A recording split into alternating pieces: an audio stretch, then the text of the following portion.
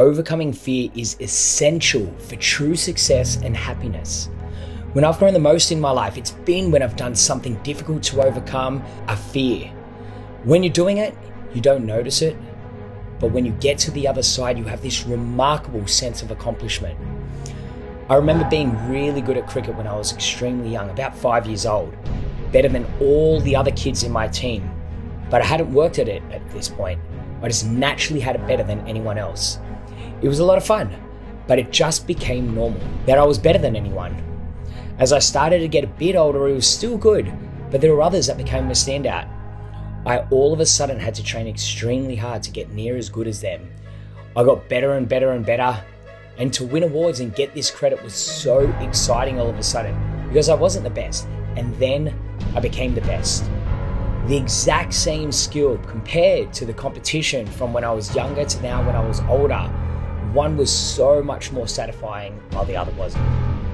So I push my clients and my friends because I want them to have the same feeling. There is literally nothing in life as satisfying and fulfilling as accomplishing something that was earned through hard work.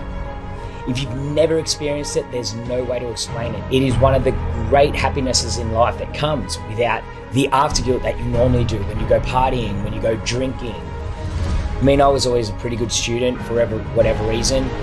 I guess my oldest brother was extremely studious and always was the top of his classes. So I worked hard like he did, but I was never the top. I feel like I was always incapable of being number one. So there have been times where I've had my doubts, and I believe that everyone does today. But the problem is that doubts do not go away.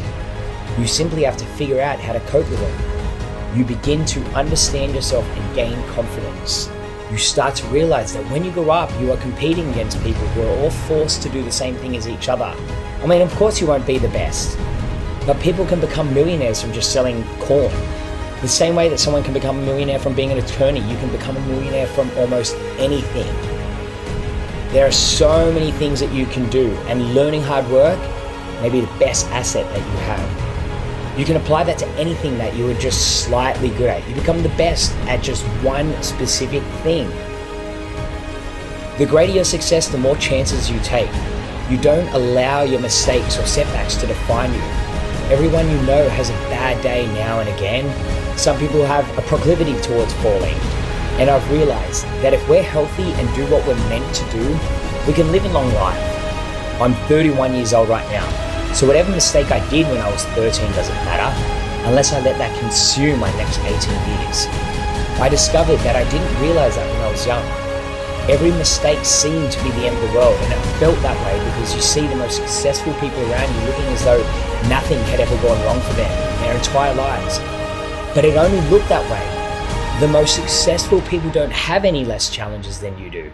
They just cope with it better so that you don't see it, so that it doesn't affect them.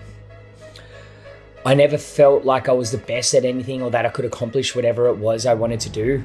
I mean, we all feel that way. But just keep working and putting in the effort. That is how I became successful. There's almost no one who becomes a success overnight. Most have to work at it every day, every week, every month, every year. You don't actually realize that you have become successful until you look back at what you have accomplished.